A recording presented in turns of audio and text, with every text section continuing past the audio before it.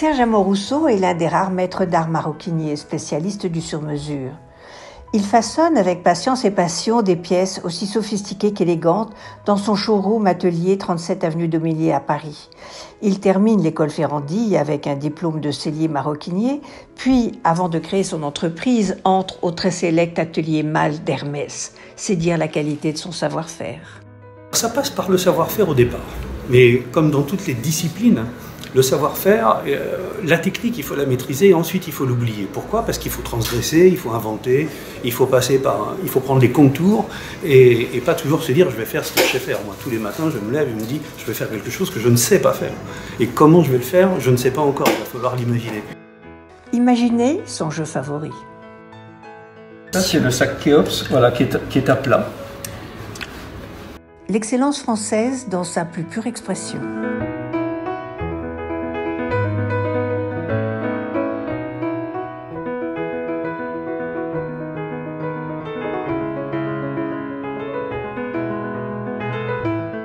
Moi, lorsque je dessine un sac comme celui-ci, je l'ai en trois dimensions dans ma tête, je le vois complètement. Donc je sais, je sais précisément ce que je vais devoir faire pour obtenir ce que je veux. Et, finalement, du coup, c'est nos limites. N'est-ce pas, monsieur le sac en éléphant rose et autres galuchas à fibres de carbone ou météorites qui composent cette collection extraordinaire? Il y a quelques années, on m'a proposé de faire une exposition qui s'appelait Wonderlab au Musée national de Tokyo. Et l'idée, ça a été de présenter euh, quelques dont ce sac, euh, et en fait uniquement ce sac.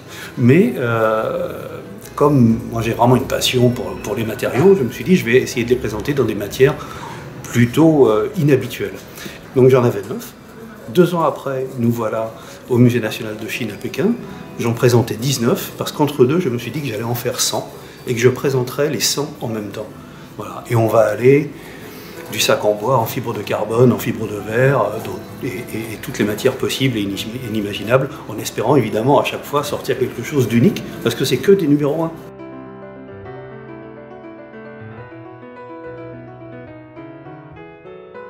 Et ça c'est nouveau. La matière, on est en chèvre, et comme sur ce projet, j'explore les matières. Et généralement, ça, c'est une chèvre que je fais faire spécialement en termes de couleurs, et notamment pour les intérieurs de sacs. Et c'est la première fois que je me suis dit, tiens, ça pourrait être intéressant d'avoir à l'extérieur. Le grain est fin, ça craint pas l'eau, c'est extrêmement résistant, hyper léger.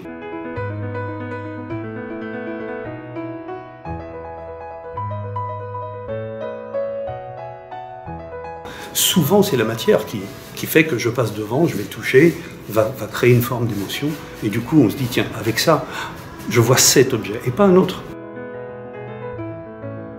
Ah, celui-ci, il est relativement exceptionnel, notamment de par la taille de, la peau. Et dans ma carrière, j'ai réussi à avoir quatre peaux de cette taille-là. Elle faisait sensiblement 1m40 de haut. Et pour obtenir euh, cette dimension avec la perle placée là où elle est, la perle centrale, voilà, donc euh, j'ai fait un premier sac qui a été acheté par, par un de mes clients. Et puis euh, celui-ci que je garde précieusement et que je prête parfois pour des expositions au musée. Serge Amoruso peut parler des matières pendant des heures. Aucune peau n'a de secret pour lui. Ça, c'est un, alors c'est un porosus, c'est un, crocodile australien. Et dans ces tailles-là, c'est très rare parce que euh, les élevages ne les abattent pas. Euh, c'est des animaux qui, euh, une fois grands, ont, un tel prix qu'on ne va pas sacrifier un bébé. Un bébé. Donc ça, c'est un, animal qui est mort de mort naturelle. Donc on récupère les peaux, on a très très peu en circulation évidemment. Une merveille de finesse pour en faire une pièce exceptionnelle. Un petit portefeuille long, plié en deux, dont une partie sera un petit peu plus foncée que l'autre, et l'évolution de la patine dans le temps va faire que les deux vont évoluer en se, en se poursuivant d'une certaine façon. Serge Amoruso réinvente les couleurs pour sublimer les formes et retravaille ses peaux pour leur donner des aspects très contemporains et encore jamais vus. L'originalité et la finesse avant tout.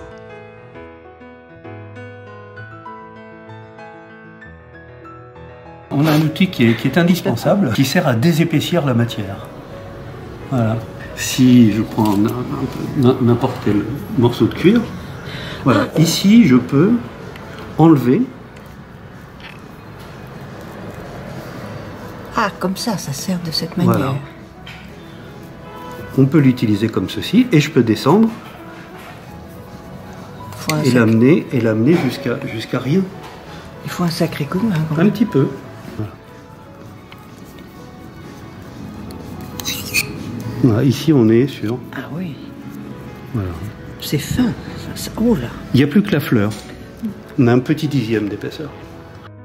Serge Amoruso repousse aussi loin qu'il est possible ces techniques pour donner aux matières qu'il travaille encore plus de séduction. Craquant, c'est sacs shopping, non?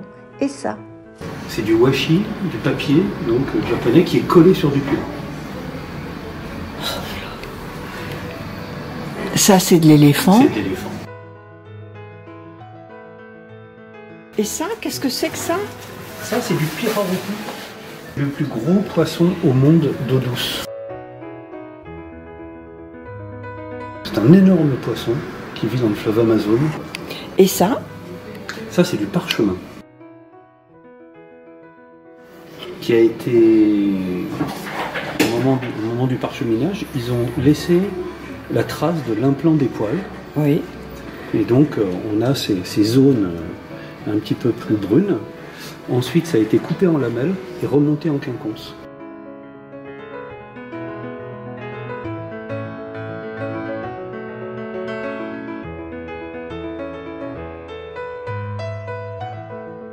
Et alors ça, en fait, c'est un dessin traditionnel qu'on trouve euh, sur les hobbies de kimono, donc sur la ceinture Oui. des kimonos. Et à Kyoto, je l'ai fait faire en sérigraphié et peint euh, sur un veau. Et on a ici, le, dessin, c'est un chrysanthème.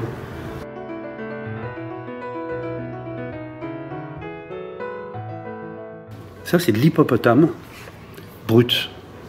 Ce qui, est, important de savoir, c'est que l'hippopotame, on a très très peu de matière à acheter quasiment dans le monde. Moi, je travaille avec euh, quelqu'un qui va en Afrique et qui achète de la matière, euh, des pots, et notamment lorsqu'il, pour l'hippopotame, il travaille avec juste quelqu'un qui n'est pas un éleveur, puisque l'hippopotame n'est pas élevé. Il faut savoir que c'est l'animal le plus dangereux d'Afrique. Il paraît, oui. Celui qui fait le- le plus de victimes, en tout cas. Oui. Et, et là, il, il est, il est en contact avec euh, une personne qui a une réserve.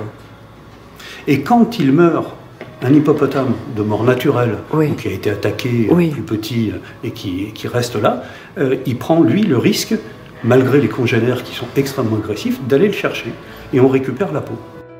Exceptionnel. Pour moi, tout ce qui compte, c'est l'émotion que ça va me procurer et que j'espère procurer au public et aux personnes qui s'arrêteront devant cet objet. Du cuir lisse à la fibre de carbone et autres crocos, Serge Amoruso, l'enchanteur, est au fond un diable tentateur.